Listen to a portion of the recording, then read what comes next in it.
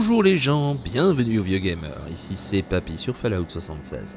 Nous sommes mercredi, et le credi, c'est un jour en I. Et comme tous les jours en I, ensemble, on visite un camp.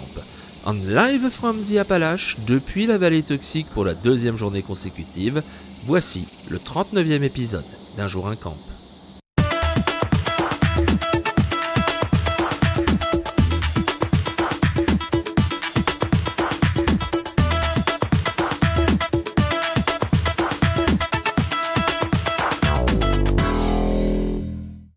Aujourd'hui, nous visitons le camp de Jed Cart.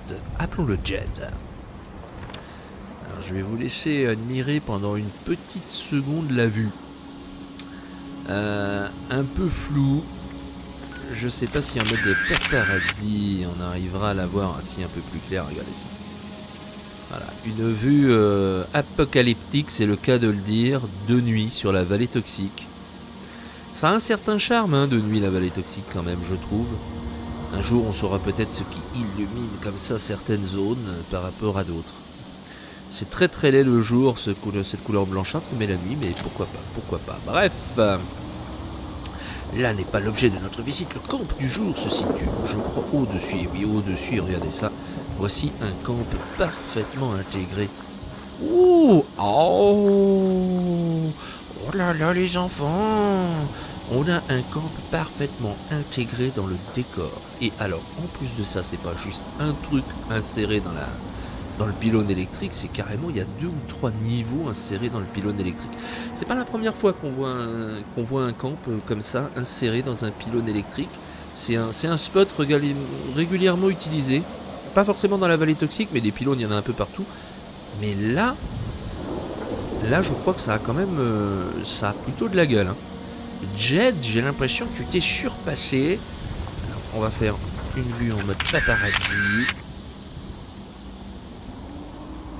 Pour essayer de saisir vraiment l'entièreté du site, c'est plutôt... Je sais même pas si je peux dire... Alors du coup, je...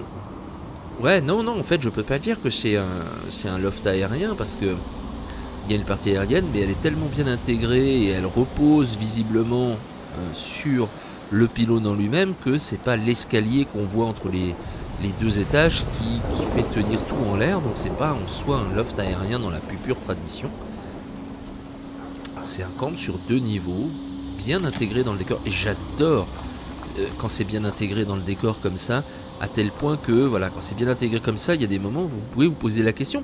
Vous dites tiens, est-ce que c'est Bethesda qui a codé ça ou est-ce que c'est un joueur qu'il a ajouté? C'était une des volontés hein, de, Bethesda à un moment. Les camps, les emplacements étaient plus restrictifs et eux-mêmes avaient dit qu'ils autorisaient beaucoup plus de proximité avec les éléments du décor massif pour pouvoir justement s'intégrer dedans.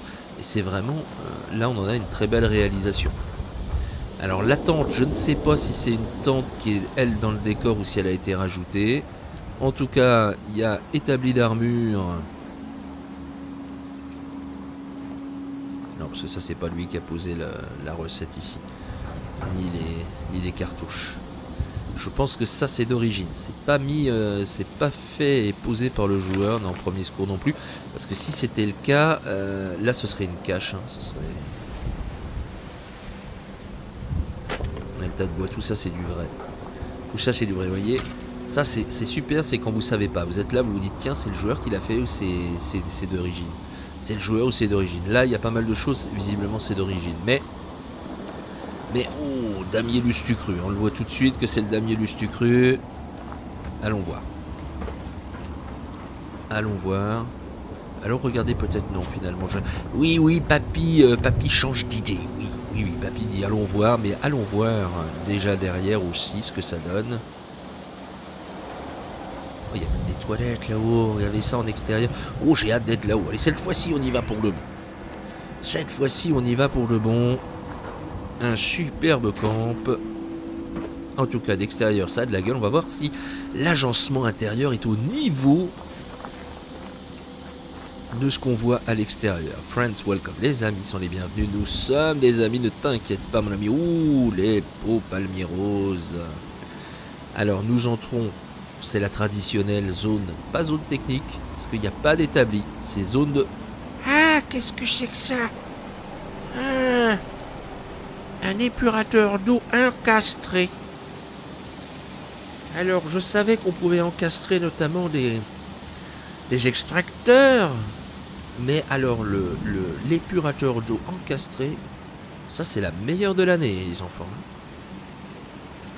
Petite zone musique, piano et, guitare, ok, et même un petit trombone.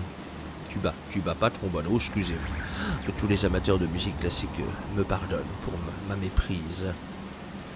Générateur à fusion, avec un petit drapeau de l'enclave dessus, et les, machines de vente.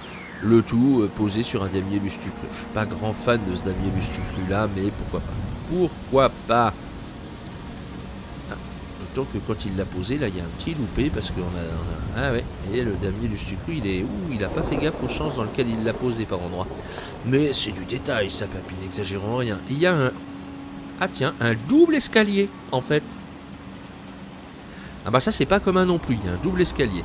Donc a priori, vous avez un premier escalier qui doit certainement vous mener sur la petite terrasse ici, voilà, avec une énorme statue et quelques tourelles le, camp lui-même.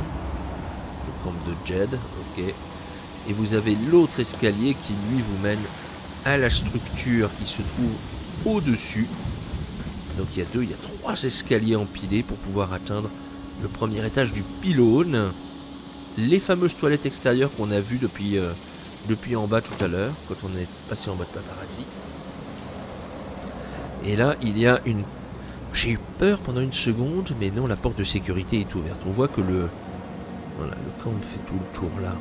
écoutez les enfants.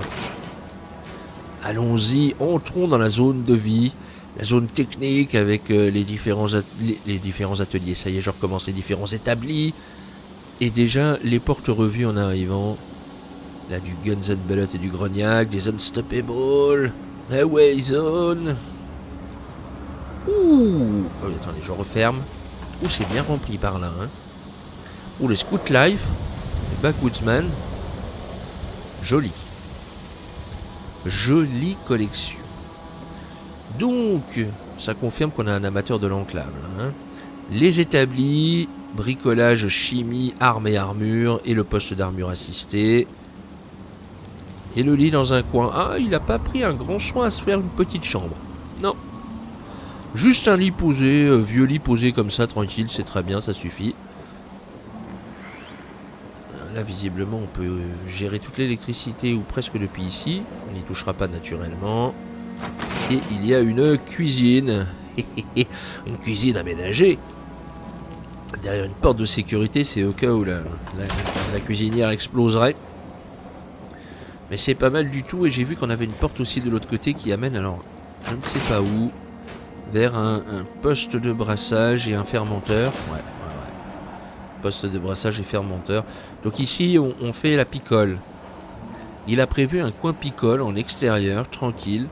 Je pense que d'ici, la, vue doit valoir, euh, doit valoir aussi son, ah, voilà, son pesant d'or. Là, le, jour commence à se lever. Euh, je sais pas ce qu'on a en bas, ça doit être Klaxburg, je crois. Est-ce que c'est quoi qu'on voit en bas? C'est Clarks... Ouais, c'est Clarksburg, c'est ça. Oh, eh ben, ça manque peut-être d'un cran supplémentaire. Du, du coup, une petite terrasse aménagée au-dessus. J'aime bien les terrasses aménagées, les rooftops. J'aime bien les rooftops. Papy aime les rooftops. Là, il n'y a pas de rooftop, c'est peut-être un peu dommage. Mais c'est vraiment histoire de critiquer. Hein, parce que là, on a quand même un, un exemple assez intéressant, vraiment, d'aménagement sur deux niveaux, encastré dans le pylône. C'est vraiment un camp euh, très très intéressant, très très sympathique. Euh, je crois que c'est ce qu'on retiendra d'ailleurs principalement. Euh, cet aménagement sur deux niveaux intégré dans le pylône, franchement, très très bien aménagé, très très bien amené et encastré dans le, dans le décor. Encastré, c'est le mot du jour. Hein. Avec l'épurateur d'eau encastré aussi en bas, ça c'est un peu plus particulier, mais c'est plutôt pas mal. Eh bien, écoutez, voilà, je pense que cette visite va s'achever ici, les enfants. Papy va pas tarder à redescendre parce que j'ai des mauvaises expériences de camp aérien dans lesquelles je blablate, je blablate et d'un seul coup, volant, le joueur se déconnecte et papy se vautre par terre. Donc, je préférerais éviter de me vautrer. C'est pourquoi nous allons redescendre. Si vous avez apprécié ce camp passé comme tous les jours, n'hésitez pas à le dire dans les commentaires. Si vous avez vu des choses qui m'auraient échappé ou si vous avez des remarques à faire, dites-le dans les commentaires, exprimez-vous, c'est important.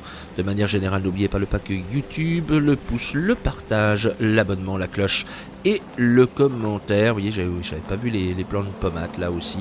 Hein, sur ce, les gens, il ne me reste plus qu'à vous faire des gros, gros, gros, gros poutous. À vous souhaiter une bonne journée et à vous donner rendez-vous demain pour un nouvel épisode d'un jour un camp. C'était Papy en live from the Appalaches. À vous les studios. Ciao